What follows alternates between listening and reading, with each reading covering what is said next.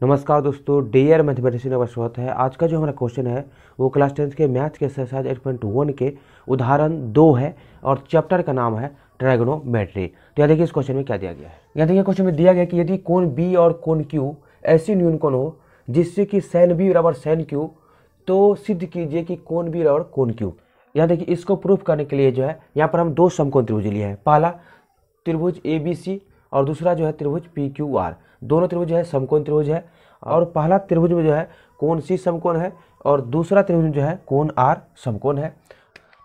तो चलिए प्रूफ करते हैं। यहाँ देखिए हल। यहाँ पर जो है जो दो समकोण त्रिभुज लिए हैं, इसको हम मान लेते हैं। तो यहाँ देखिए, माना कि माना कि त्रिभुज ए बी सी और त्रिभुज पी क्यू आर समकोण त्रिभुज है। समकोण त्रिभुज है। जहाँ जहाँ कोण सी और और कोण आर समकोण है। समकोण है। और दिया गया है कि, और दिया गया है कि साइन बी बराबर साइन क्यू जहाँ कोण बी और कोण क्यू क्या है? तो न्यून कोण है। न्यून कोण है। यहाँ पर जो है, हम दो समकोण त्रिभुज माने हैं और क्वेश्चन में दिया गया है कि साइन बी बराबर साइन क्यू जहाँ कोण बी और कोण क्यू क्या है? तो न्यून कोण है। अब इसके बाद देखिए साइन बी बराबर क्या होगा? तो इस त्रिभुज में देखिए, त्रिभुज एबीसी में क्या निकालने के लिए बोला जा रहा है? तो साइन बी बोला जा रहा है। तो हम कहाँ जाएँगे? इस बी के पास जाएँगे। और हम लोग जानते हैं कि साइन थीटा और क्या होता है? साइन थीटा बराबर होता है लंब बट्टा कर्ण होता है। अब इस बी के लिए जो है, ये ए सी क्या है? तो लंब है। और ये ए बी क्या है? तो कर्ण है। तो यहाँ देखिए साइन बी बराबर क्या होगा? तो ए सी बट्टा ए बी बराबर। साइन क्यू बराबर क्या होगा? तो इस समकोण त्रिभुज पी क्यू आर में देखिए, इस क्यू के सामने जो है, ये क्या है? तो लंब है। और ये क्या है?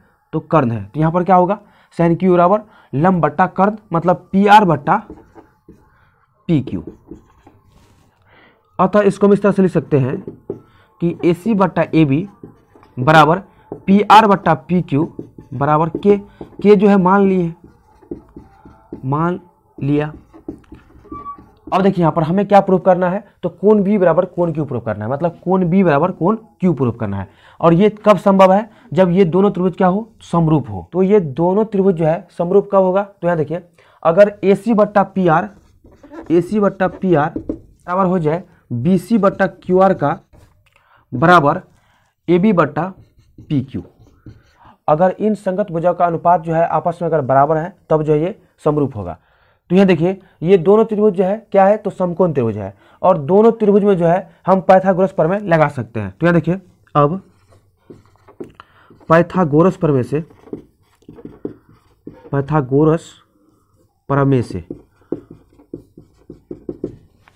त्रिभुज एबीसी में। क्या होगा? त्रिभुज एबीसी में तो ए बी स्क्वायर बराबर मतलब कर्ण स्क्वायर बराबर, ये ए बी क्या है? तो कर्ण है, कर्ण स्क्वायर बराबर लंब स्क्वायर प्लस आधार स्क्वायर मतलब बीसी का स्क्वायर। यहाँ देखिए, हमें जो है किसका मान चाहिए? तो बीसी का मान चाहिए। तो यहाँ देखिए बी सी स्क्वायर बराबर क्या होगा? तो A B square minus A C square. B C बराबर क्या होगा? तो under root A B square minus A C square. इसी तरह से जो है, फिर देखिए, फिर त्रिभुज पी क्यू आर में, त्रिभुज पी क्यू आर में जो है, यहाँ देखिए पी क्यू स्क्वायर बराबर क्या होगा? तो पी आर स्क्वायर और प्लस क्यू आर स्क्वायर यहाँ देखिए पी क्यू क्या है? तो कर्ण है। ये पी आर क्या है? तो लंब है। और ये क्यू आर क्या है? तो आधार है। किसके लिए? तो इस कोण क्यू के लिए।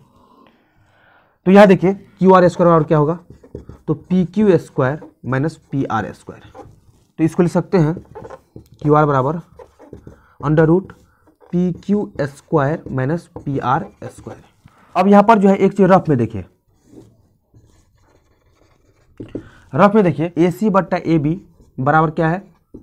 तो पी आर बट्टा पी क्यू और बराबर क्या है? तो के है। यहाँ देखिए, इसको जो हम यहाँ ला सकते हैं। ए सी बट्टा पी आर कर सकते हैं और बराबर ए बी बट्टा पी क्यू हम कर सकते हैं। यहाँ देखिए, बराबर के तो यहाँ देखिए ए सी बट्टा पी आर बराबर क्या होगा? तो के होगा। ए सी बट्टा पी आर बराबर क्या होगा? के होगा। तो यहाँ पर हम लिख सकते हैं ए सी बराबर के इंटू पी आर इसी तरह से जो है ए बी बट्टा पी क्यू बराबर क्या होगा? के। तो यहाँ पर हम लिख सकते हैं ए बी बराबर के इंटू पी क्यू। अब देखिए हमारा टारगेट क्या है कि बी सी बटा क्यू आर जो है, इन दोनों के क्या हो? इक्वल हो। तो यहाँ देखिए, अतः बी सी बट्टा क्यू आर बराबर क्या होगा? यहाँ देखिए तो under root A B square minus A C square बट्टा under root P Q square minus P R square. यहाँ देखिए बी सी बट्टा क्यू आर बराबर ए बी बराबर क्या निकाले हैं? तो के इंटू पी क्यू यहाँ देखिए ए बी बराबर के इंटू पी क्यू तो यहाँ पर रख देते हैं। Under root K into P Q का होल स्क्वायर क्योंकि ए बी का होल स्क्वायर है। माइनस ए सी बराबर क्या निकाला है? तो यहाँ देखिए ए सी बराबर निकाले हैं के इंटू पी आर यहाँ देखिए ए सी बराबर के इंटू पी आर का होल स्क्वायर बट्टा, यहाँ देखिए अंडर रूट इसको कुछ नहीं करना है। P Q square minus P R square यहाँ देखिए इसको लिख सकते हैं under root K square into P Q का स्क्वायर यहाँ देखिए कि अगर ए बी का होल स्क्वायर हो तो इसको मिल सकते हैं A square into B square तो यहाँ पर भी जो है, हम यही किए हैं K square into P Q का square minus K square into P R का स्क्वायर बट्टा under root P Q square minus P R square तो यहाँ पर जो है under root K square common लेते हैं तो के स्क्वायर कॉमन आ गया। बट्टा under root P Q square minus P R का होल स्क्वायर यहाँ देखिए के स्क्वायर बाहर निकल जाएगा। तो के इंटू क्या होगा अंडर रूट पी क्यू का स्क्वायर माइनस पी आर का स्क्वायर बट्टा अंडर रूट पी क्यू का स्क्वायर माइनस पी आर का स्क्वायर यहाँ देखिए, ऊपर नीचे क्या है? सेम है मतलब अंश और हर क्या है? सेम है तो ये जो है कट जाएगा। तो क्या बच गया? बराबर के तो यहाँ पर जो है बी सी बटा क्यू आर क्या आ गया तो के तो यहाँ पर लिख सकते हैं। तो के जो है किसके बराबर है? तो बी सी बटा क्यू आर का है। तो यहाँ देखिए, अगर हम इसको एक मानते और इसको जो है अगर हम दो मानते हैं तो क्या हो जाएगा ये?